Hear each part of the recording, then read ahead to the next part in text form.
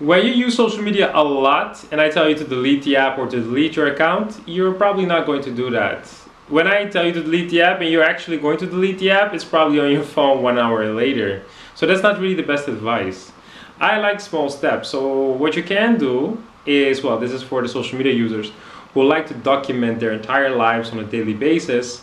Then for you, I can tell, just post one time, once a day. That's it.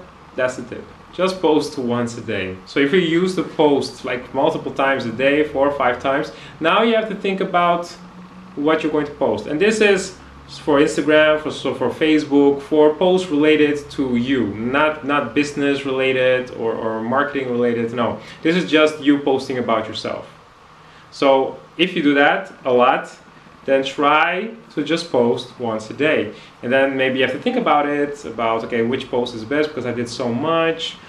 Then, oh, you know, I went to the shop, I went to school, I, I went to this person, or I went to that concert today. So, what I'm going to post about. So, then you have to actually make a choice. Which event are you going to post about? Or maybe you're going to make one post and while you talk about all the events, you have to be creative. But the point is that you really are going to think now about what is it exactly that I want to post? And that's what you want to be thinking about because a lot of times it's a habit. I've done something, I bought now this, I, I, I ate this, so let me just let me just inform people because they all should know what I've done just now.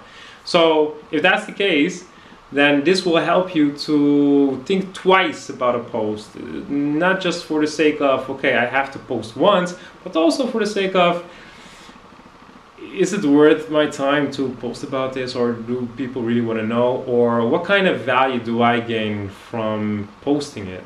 Uh, is it the likes? Is it the comments? Or what kind of effect do i want to create online uh, by posting this? So it, you're going to ask yourself this question as well hopefully when you just focus on posting once a day. So start with posting once a day and then hopefully you understand that a lot of those posts are pretty unnecessary so Start with just posting once, just once, once a day.